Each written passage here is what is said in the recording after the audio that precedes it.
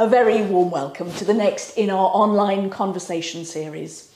My name is Paula Gooder and I'm the Canon Chancellor here at St Paul's Cathedral, which means that I oversee the theology and learning that takes place within the life of the cathedral. My conversation this time is with Tom McLeish, who is Professor of Natural Philosophy in the University of York in the Department of Physics. And like me, Tom is a licensed lay minister in the Church of England. Our conversation was absolutely fascinating. We explored science and faith and whether the two are opposed to each other or whether, in fact, they work together much more closely than often people allow. We thought about truth. We thought about various parts of the Bible, particularly Job and Paul and we scratched our heads a little bit about how we begin to reflect on asking really good questions and how the technique of asking good questions is true both for science and for faith. I hope you will enjoy this conversation as much as I enjoyed having it with Tom.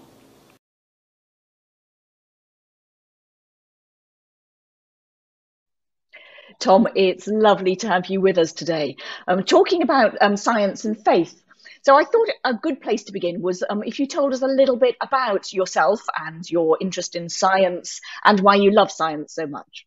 Well, it's great to be here, Paula. Thank you very much indeed. Yes. Um, well, I've, let's say I've been a scientist, I suppose, since I was about two and a half um, probably vague memories. There's not a time I can remember when I haven't been fascinated with with the world around me. My grandmother giving me a little microscope when I was quite little and um, looking at, at uh, flies' wings through it and and blood cells and bits of carrot and then having a little telescope and getting really excited um, about the rings of Saturn um, and and even the idea of doing an experiment, the word experiment, I remember used to send a little shiver up my eight-year-old spine. So so um, uh, nerdy if you like, but but I, I just just fascinated by by the world around and and and what we couldn't see with our naked eyes was behind it.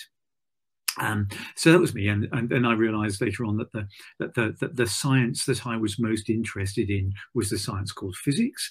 Um, uh, that it somehow seemed to dig at the roots. I was in, just fascinated by the way that mathematics also began to describe the workings of the um, the inner workings of the world, from planets to to atoms, um, uh, and so that that uh, led me into uh, my my scientific studies and.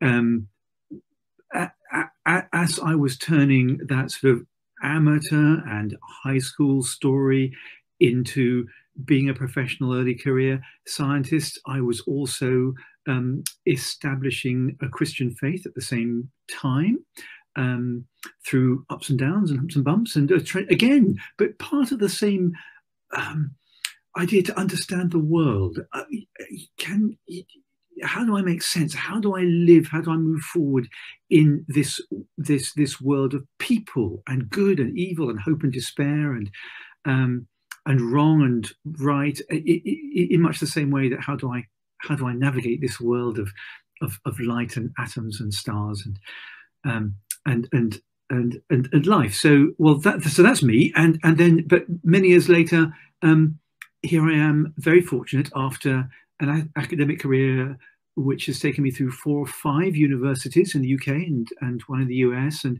um, uh, as, as a new professor of natural theology, which is, or natural philosophy, beg your pardon, natural philosophy, uh, which is the old word for science, which I much prefer. I came to realize that people were put off by science, partly because of the sibilant word and also because it it has a knowledge claim. It comes from that Latin "scio," I know things, whereas the old word for science appealed to me very much more. Natural philosophy, love of wisdom, philosophia, love wisdom to do to do with with with with nature, and because the other part of my experience is being radically interdisciplinary, I, I I was a scientist, but I love all other subjects and languages and literature as well.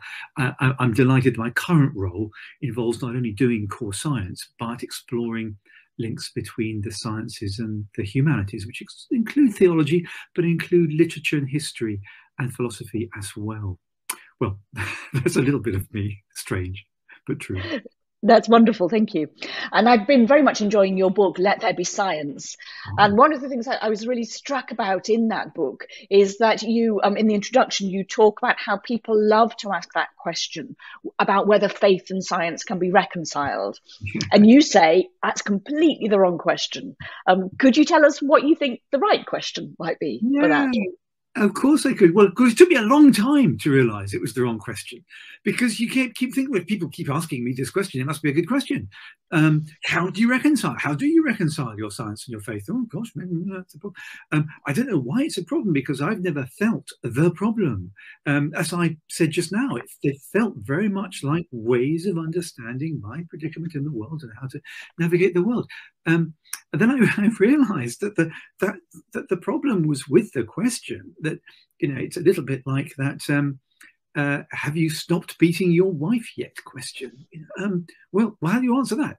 Well, yeah, of course I've stopped. Well, no, I because start, I, the question assumes you'll be glad to know um, assumes a, a, a, world that that doesn't bear resemblance to the real the real world. Um, so instead, there's a better question. There's a better question. Of course, of course, I, you know, I, I slightly, I, am slightly tongue-in-cheek here. One, well, I have to respect the fact that the that the narrative, the notion that there has been throughout history and is now a conflict between the scientific and the religious or the theological is so widespread. It's in education and media. Of course, it needs to be addressed. The fact that it is a false narrative based on invented evidence and polemic, not on history and real thinking, is another question. It does need to be addressed. But I found the, the real question was for me by then as a Christian being being asked this, the real question is, well, uh, it, it is somehow extraordinary and wonderful that humans can do this thing called science, that we can, that our insight moves beyond the surface of the world, the immediate appearances, the phenomena, into and beyond to the structures, the causes, the effects, the mechanisms, the um, the quantum wave functions and all that underneath. It is amazing that we can do this. This is an extraordinary gift. Why do we have this gift? And particularly if we're in the kingdom of God, if we are Christians, if we think about theologically about some things, then we need to think theologically about everything. The question becomes given that we have this ability, this gift, what is it for? What is the role of the gift of science within what Jesus called the kingdom of God. We have the gift of medicine, we have the gift of education, we have the gift of being able to cook nice food, we have to, the gift of being able to talk many different languages, we have to, we have the gift of music. Uh, one could ask the same question. Art, one can ask this great question, and people have done. Um, people have written lovely books about the theology of, of, of music or art. Um, but we need to answer the question well, within the kingdom of God and the purpose of the story of the kingdom of God, what is science for? Uh, why has it been gifted to us? So I think thought that was the that was the question that I was interested to uh, ask, and that uh, the book Faith and Wisdom in Science is the my first attempt at initial sketch of what the answer or the direction to the answer might be one of the things that you have said is that the Bible's message is of a God who loves science and a science that needs God. And I thought that was a really striking thing to be able to say. I wonder if you could just unpack that a little bit for us about what, what you mean in that phrase. Yeah, um, of course. It, yeah, it, it's it's shorthand for a, a very great deal. Um, well, the, the, the God loves science bit is comes from the idea of science as gift, not you know. So people within the church think of science and outside as a threat to belief. It's not a threat to belief, it's a gift. So if the gift of medicine is in order, that's not a difficult one, right? That's, a, that's, a, that's in order so that we can heal um, the brokenness within people's physiologies, within people's bodies. We can heal, we can, we can be involved in the work of healing. Um, so the work of science, the gift of science is also gifted to us. It's a good thing. It enables us to re-image the whole universe in our minds in a way that help us to understand it. So in a way that God loves all of the gifts that God bestows on God's people, that's what I meant by that. Um, science needing needing God, uh, where that unpacks is is partly to do with the, the way that science is framed um, in our public world. Um, it is framed in a conflictual way in, in many ways. I mean, it is, of course, framed wrongly, as we've already touched on, as conflicting with religious faith. Well, in fact, the story is that the um, that, that, that, people of faith have been have been those driven by their faith and through ideas of faith through science and still do. Uh, but but the the way that science is currently perceived, particularly in the developed West, I think is in a very dangerous place. Um, it, it, it, it, it's it's and I think the COVID um, pandemic has, has, sort of brought this out. Of course, it's brought science to the fore in, in some very helpful ways, but it's also shown us that there's this divorce, there's not a public confidence between science as culturally accessible, something that I can understand and you can understand and we can talk about, even if we're not scientists. Now, it's not that's not just because science is expert. I mean, music is expert. Um, you know, I couldn't pick up a violin and play a violin concerto to save my life, but it doesn't mean to say that I can't enjoy people who do and even think critically about who I prefer, whose performance of you know, Brahms violin concerto I prefer. But um, we can't, we don't do that with science, but we could do. So um, the, the, and, and I think if we did it, we would, if we were able to fill in what I sometimes call the sort of the, the missing rungs of the ladder from from just public audience and contemplation of science, full all the way to professional practice. Like that ladder is completely smooth in the case of music or drama or art, um, then uh, science would be in a better position to to rest constructively and critically um, in, in, a sort of a publicly engaged way. And I think that the church can be, and, and I have evidence, I've worked with churches for stuff many years on, on how churches can engage with and support science. And it works amazingly well. So that's where I, I that's what I think I'm beginning to mean by by, by science needing God. Science certainly, certainly needs the church to recognize and implement science as gift. And you mentioned at the start that your um, title now as a professor of natural philosophy is a kind of a, a nod to the historic understanding of science. And um, when we used to call it natural philosophy, it was very much the terrain of religion. Um, and for me, one of the really interesting things to notice is that now science is very much not the terrain of religion, as we've been talking about just now. Mm. Um, what happened, um, in your view, that meant that um, natural philosophy turned into science, and science stop, stopped talking with religion, and probably more importantly, religion stopped talking with science. Yes, it, it, it, this is a complicated thing, and I think this is this is not my um, regime of expertise. There are real philosophers and historians of scientists. I'd point people in the first instance, perhaps to Peter Harrison, uh, you know, University of Queensland was Oxford has um, written uh, about this, but many other people too.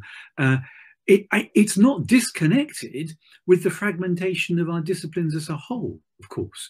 Um, the fact that science doesn't talk with religion, philosophy so much is part and parcel of why science doesn't talk very much with literature and poetry um, and history. We've fragmented our academic landscape in a way that doesn't match, perversely, the world that that landscape is supposed to talk to and and with. So that's one of the reasons. I think the other reason is that. Um, and this is a, a, a this is a, a, sort of Western, rather European, North European, even Protestant sort of problem. Um, uh, is is that in the 19th century there were power games going on, um, and the the extraordinary power, perhaps too much power, vested in an institutional church and in a very classically dominated education, gave rise to quite a bit of resentment. I'm thinking of the Tyndall and the Huxleys in the scientific community. Um, and there you have William Whewell, Master of Trinity College, Cambridge in the 1830s, deciding that the multiple fragmented scientists of geology and, and, and, and, botany and astronomy and so on needed to club together and get called scientists. That was the neologism of 1836 or so, um, as opposed to artists. And so there was a polarization that cracked apart. Goethe, uh, his wonderful Renaissance finger on on another problem to do with poetry. He says this idiomatic thing um, in Andimorphologie in about 1810. He says that science and poetry forgotten their common origin uh, and they need to remind it. And here's a thing I've noticed, I've got fascinated just the last couple of years with relationship between science and poetry, by the way. And I've noticed that there's a sort of triangle of science, poetry, and theology. And if anyone wants to write about the connection between any of those two of those three, like Malcolm Guite, for example, wants to write about poetry and theology, they find themselves talking about the third. Malcolm talk, finds himself talking about science, as Coleridge talked about little creators, like little I ams, and so on. So there's a there's the uh, which brings us to the Romantic movement. So that's another ingredient in the pot. The Romantic movement, with its enormous of hubris, human hubris, um, of, of, of, of, of, of sort of dominance um, and the possibility of all knowing humans over over uh, creation. Um, I, I, think so. I think there are many, many, many strands. Um, oh, and also, perhaps one more: the the deliberate whitewashing of medieval Christian thought, which goes right back to the early modern era, people like Francis Bacon and and, and um, the early uh, early modern philosophers who pretended that when they were taking some steps away from medieval scholasticism, they were completely rejecting the show. And one throws babies away with bathwater, and one does that. In particular, the very theological foundation of experimental science that Francis Bacon himself espoused. So, lots of strands. It's complicated, suppose I say that. Um, certainly is, but it's lovely to hear you talk about it. Um, really, really interesting. Um, which brings me really onto one of my um, favorite topics was um, the Bible. And one of the things that I was really struck by in reading your writing is that um, there are two of my favorite things that you talk about quite a lot. One of them is the book of Job and the other are the writings of Paul. Um, so um, I thought we'd talk about both of them. Oh, yes, please, Paul. Yes, that would be great. great. I really love that. So let's start with the book of Job. tell me why you love the book of Job.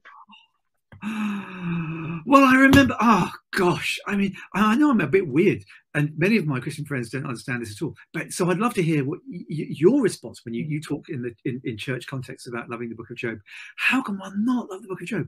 I remember as a young Christian, my twenties, I guess, um, doing what everyone should do. You know, you give the Bible a complete read through from beginning to end. I mean, you need to know all of this thing, and hitting the Book of Job and thinking, my goodness, this is stunning. This is beautiful, particularly when when the law Lord Yahweh gets a, a chance to speak, you have to wade through these 37 chapters of argumentation between Job and his erstwhile friends about why he's suffering as a righteous person, and they think it's because he must have sinned, and he knows it's not.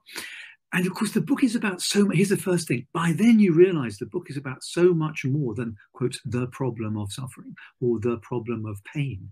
It's deeply, deeply philosophically entrenched in the chaotic, wild side of nature. It's like a flip side to Genesis. It's, it's wonderful.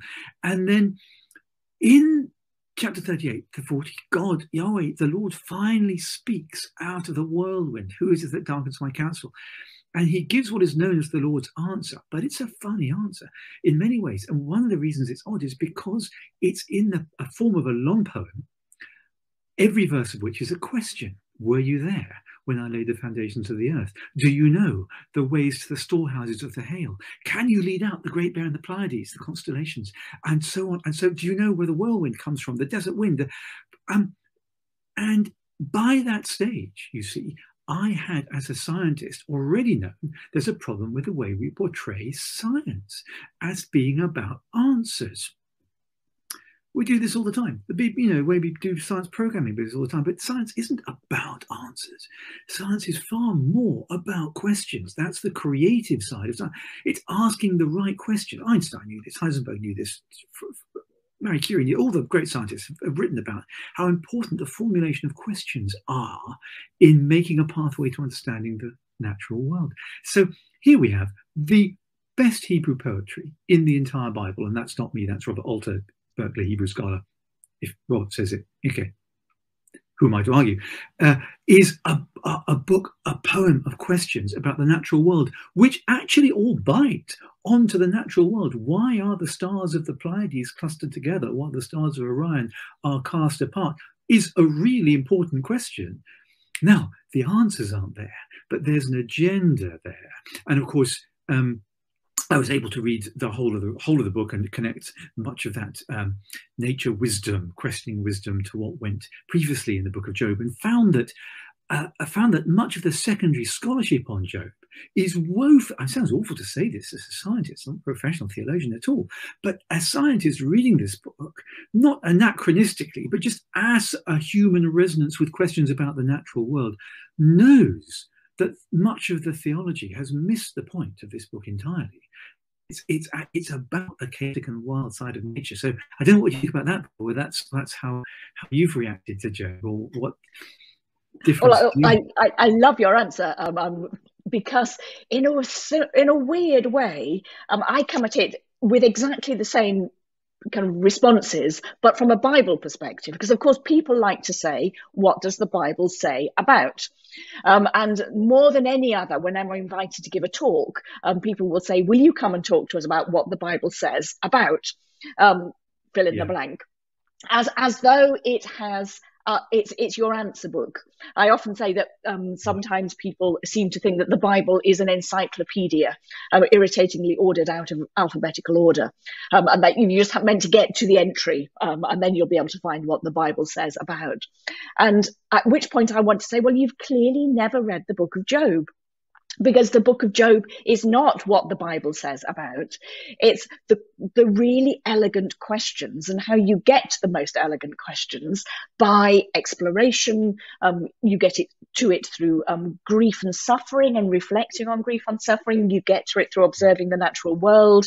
Um, you get to it through crass pastoral conversations with your fr- so-called friends who come and say awful things to you. You get mm. to it through religious experience. And you've got these kind of lovely things whirling around each other. And uh, and I give exactly the same response, but just from a slightly different perspective. Um, that it, it's all about asking the the right questions, or even keeping on asking the questions. I think. Yeah. And celebrating the questions, and celebrating the questions for which we currently have answers, not pretending the universe is all neat and tidy, even our answers to it are neat and tidy. Yeah. There's only hmm. one bit of the book of Job I don't like, which is the very final bit when, you know, everything's all resolved and God says, Oh, well, never mind, all your children died. I'll just give you some new ones and it'll all be fine. And it feels as though somebody came along later who liked to have a few tied up ends and they kind of put an, an ending on, which for me kind of slightly undermines the power of the rest of it. But I don't, I don't know what you feel. Yeah, well, I don't like the prologue either. Um, but it always seems to me as being a bit of a comic. The prologue and the epilogue, where if I think of Job as a theatre, I find the I find the prologue and epi, epilogue belong, be, belong on the proscenium, but also in front of the curtain. They're little sort of warm up and closing acts, but they didn't really quite get the main scene. And then the curtains open, you have this extraordinary main scene that Blake painted. But but I uh, I think that's my problem. I don't think that's the Book of Job's problem so we were we talking about Job, and um, and as you said um, when you started answering, um, people look at you slightly bemusedly when you say you like Job. Um, my I have exactly the same experience when I say I like Paul. Um, I go and say I'm a Pauline scholar, and people kind of look at me slightly pityingly, as though I I maybe haven't read it and realise that it's complicated and difficult. You're a woman, aren't you? Yes, yes. What are yes. you doing liking Paul? So um, tell me why you like Paul. Well, yeah, actually, I have a mixed relationship with. I, you know, I'm not sure I'd have liked the guy, um, but I think it's quite scary. But, um, but of course, there are moments of just sheer theologically inspired brilliance. And look, you know, anyone who can say in God there is no Jew, no Gentile, no man, no woman, no male, no female, no slave, no free. Look, as his climax has got somewhere. I mean, you've got you, you you've got a um, but of course, once, so here's the thing with me and Paul. Once I got my mind around Job and and the way that the created physical material world is created good, including its wild, open, um, stormy, floody, lightningy, um, unresolved, uh, awesome side and celebrated. Then, and, and, what is more, so the other thing to say about Job, before we get to Paul, is that Job is talking about the, the three way relationship between creator, material creation, and the human, and where we stand, where we stand, where these three stand in relationship with each other. And that the relationship between the material world, the human made in the image of God, and God creator um, uh, is is one of the great themes of this Bible narrative, this story that we read that we now find ourselves in. That's what the book of Job points us to. Once you're once the Job has been your guide in beginning to hear that motif, that tune, that that song on the cellos or whatever it is, you start to hear it in other places of the Bible much more clearly. And you hear it in Paul. And of course, Paul, yeah, he picks his, and you hear it in the Gospels too, but you hear it in Paul all the time. And it's this three way relationship between the human, the creation, and the divine, which for Paul comes again and again and again in the way he articulates the evangelion in the gospel so my you know at the, we could we could go we could go corinthians we could go colossians we could go we could go romans but let's just start right at the at Romans 8, you know, at, the, at the, the, the, the very central bridge passage between all that Abrahamic stuff of fulfillment of the law to um, now, you know, that there is, there is, there is, uh, there is, there is, to, there's nothing that can separate us from the love of God, neither flood nor famine nor sin nor war, nothing. Paul gets there through this thing called the groaning of creation. It's a birth pang. It's a it's a, a, um, a painful birth litany of creation itself groaning until the daughters and sons of God are revealed in their glory. Um, so until the relationship of God, the humankind, and the physical creation is put right. So, so for Paul, we're not talking about a sort of spiritual you know, this, this idea that Paul is a dualist is, has to be completely, completely wrong. This isn't right at all. Um, it, it, Pauline theology is embedded in creation. Uh, and it, it, pops up there. It pops up many times, many times as well. So take take take one other example, which I'd love to hear your reflection on, Paula, which is the, the Corinthian church. Which you know, his his relationship with the Corinthians broke broke him. I mean, probably almost certainly had a nervous breakdown over that lot. Um, and there he is in Second Corinthians, or we call Second Corinthians, actually probably his fourth letter, of course, to the Corinthian church, having to summarize the Christian experience and calling. And I think I'm, I love to say I think Paul would be brilliant on the Today program because he was he was the master of the soundbite. And, and when he is got to the back of the back to the wall. So, but Paul, sorry, we've only got two minutes for the sport. Um, can you tell us, you know, what is this strange movement about? Are you rebels? Are you zealots? Are you are you heretics? Jews? What, what are you? What are you? The Christ, Chris, what do you call yourselves? And Paul said, John, Nick, I'll tell you what we are. We're about healing broken relationships. That's what we do.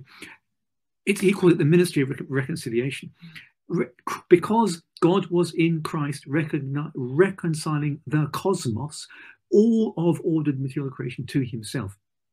He can't help it. It comes up at his most important um, focal moments of describing the gospel. And that is the nexus, that point, you see, that relationship between the created order and God and past and future and our human relationship to the created world is where science is science is the gift that enables to adopt and work at that place of calling.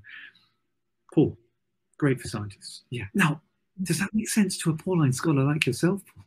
Absolutely, it does. Um, you make my soul sing when you said um, Paul's not a dualist, um, hmm. because in a sense, that's kind of a, to think that Paul is into dualism is to entirely misunderstand what he's talking about. Because as you know, dualism is about saying there are two things. One of them is good, the other one is bad.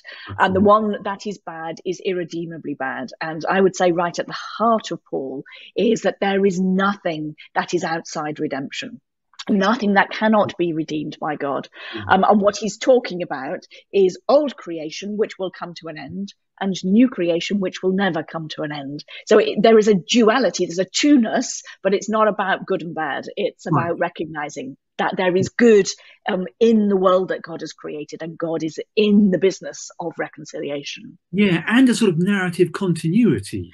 Um, Indeed, so yes. And the Trinity. I love the way that Sarah Coakley uh, uh, puts it. Cambridge feminist theologian. I mean, you can't really put anyone in a bracket, but there we are. Uh, and I love the way Sarah says, "Look, the great thing about Trinitarian theology is, is that three into two doesn't go." Um, you know, we, we, we learn that early on in our, our mathematics. And one great way of breaking dualisms is to be Trinitar Trinitarian about it. Um, and again, uh, of course, there is, of course, the, the famous, the Godhead tri Trinity, but there are other Trinities like this Trinitarian relationship of, of creator, human creator, and creation. And you can't get duality out of, out of that Trinity either. Shall we carry on now and start talking a little bit more about conversion? Because that was another strand that I thought in your writing, which was very interesting. So, conversion in faith, but also conversion oh. in science and the ability to change your mind. Um, I thought the bit was something that I was I was really interested in um, how you framed it. That's that there's something maybe that the method of science can teach us about how we understand our faith, about being lively people of change and conversion. Right. Yes. Now, I yeah, you're reminding me of how that came out without designing it to be that way. But you're quite right. Um, I love I love the scientific community. I love being part of the scientific community because for many reasons. I mean, because because its insistence on high standards of truth, um, and of course, where they go wrong, it goes wrong occasionally, but yeah, it goes wrong. It, it, it's it's it's it's horrific. But also because people change their mind in the light of evidence. It's much harder than you think. Karl Popper, you know, I know we're supposed to drop our pet theories at the slightest refutation. No one ever does that. Um, and actually, no one would be right to do that either. It's very important that other relational goods like faith and love operate in science as well. But um, what one needs to change one's mind in the light of evidence and grow up in our understanding of the world. And that's one of the reasons why, for me, that's one reason I respond to this other question that people throw at me. Look, isn't, isn't this thing about science? Is science all about fact? And religion is all about changeless, believing in changeless dogma without the slightest evidence. So how can you possibly bring these two together? And and you know, well, those two Aunt Sally's. I can't bring together. No, but it's an Aunt Sally about science. Science isn't just about fact. It's about question. It's about openness. It's about living with unresolved questions. It's about tensions of things you'd love to be true but don't seem to be true quite yet. But you still think they might be true because you haven't got all the data in. And it's important not to kill off scientific ideas at their birth because, like babies, they're not strong enough to survive in the world of all the data yet. I know this from my own scientific experience. I worked on a theory that was trampled on for 20 years and now it's accepted. But um, it, you know, I need we those of us who loved it literally had to love it through its its infancy into existence. But also on the on the Christian walk side, I think science can teach Christians not to be like that. Don't believe. You don't have to believe in dogma in the in in the face of evidence to the contrary or no evidence whatever. Um, uh, our Christian faith helps us understand the world, and if if I, I I've changed the way that I've thought about my faith. I've changed the way I've thought about Trinity. I've changed the way I've thought about what it means to be a Christian over and over and over again. Um, uh, so that that process of sort of micro conversion as well as macro conversion is something that I think is shared um, and, and, and recognizably shared between Christians and, and, and, and, scientists. I think what's one of the reasons why, here's a little bit of empirical evidence. You know that um, I have a project which I run between University of York and Durham with um, uh, David Wilkinson, who's principal of St John's College, Durham. David and I worked together for years and years. It's a project called Equipping Christian Leadership in an Age of Science, funded by the Templeton uh, funds, and it helps equip the church to think in a fresh way about, about science in all the ways we've been discussing. But one of the things we do is invite senior Christian leaders, that would be bishops and equivalent moderators of large churches, senior leaders, um, into labs with senior scientists and get them to talk about the science and their framing. And often these communities are a little bit suspicious of each other at first. And I mean, the scientists aren't necessarily churchgoers or believers, but they're, they're open to it being important to communicate science to the church. And they're glad that these leaders have wanted to visit and so on. Um, the senior leaders, often science is not their strong suit, right? They, they're typically humanities trained. And if you're a bishop, you're supposed to be, you know, knowledgeable about things. So for a few minutes, it might be difficult, but only for a few minutes. And in conversation about the life and goals and hopes and failures and um, the, fascination about the human mind or about the cosmos or about rocks and oil, whatever we're talking about, uh, bonds are formed over and over again very, very quickly. And I think it's something to do with the fact that these church leaders and the scientists have so much in common, partly because they love to learn. They aren't in the business for wealth This is, Yeah, you do something else if you work. You're in the business because you you value this glorious, precious gift um, of being able to love in the image of God the creation that God made. And I think both scientists and people of faith are in the business of truth. But what the business of truth actually means is a bit of a complicated thing, isn't it?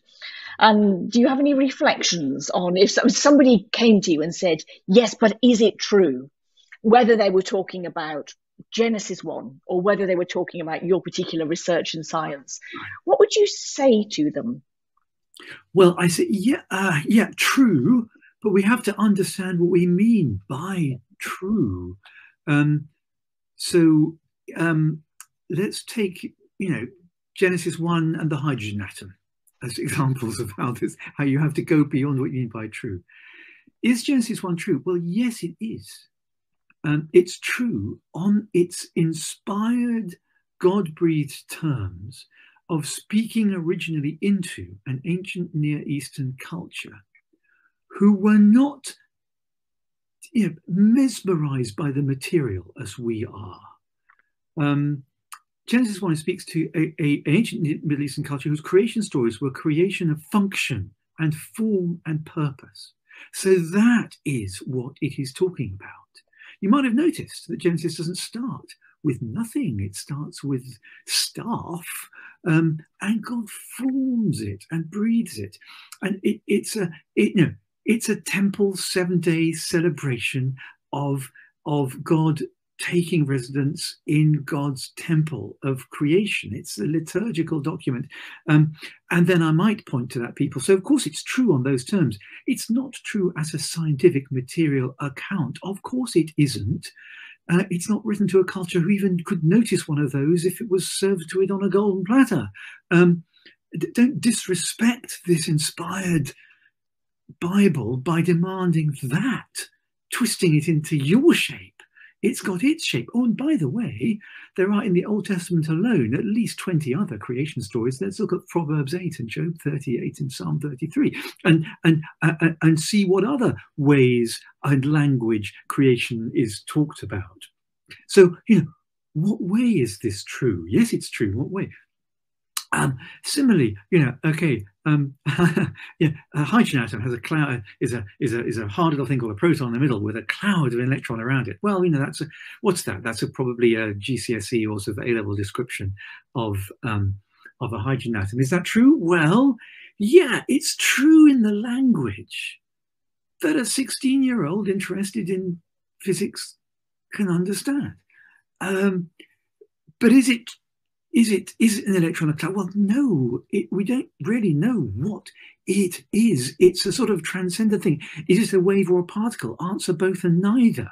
How do you mean both and neither? Well, I mean this is how we describe it mathematically. Now we're going into transcendent, you know, undergraduate and graduate worlds. We no, I'm not saying that. That okay. Um, it, therefore, the Bible should and could only be left to theologians who knew this graduate world stuff, like the graduate quantum mechanics. By no means.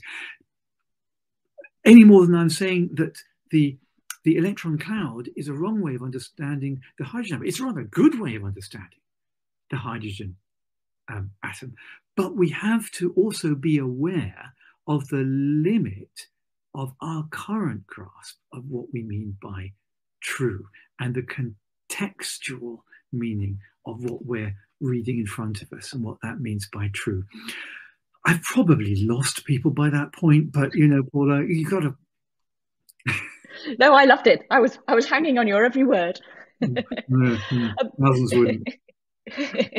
um, just as we come to the end of our conversation, I think one of the things that most so you're able to talk um, kind of freely and articulately about how for you there is not a disjunction between science mm. and faith. But I think mm. many people who are not trained in science as you are kind of rather stumble when when kind of the usual re- responses come about faith being all about fairy tales and mm. science being really about fact and how the never the twain shall meet.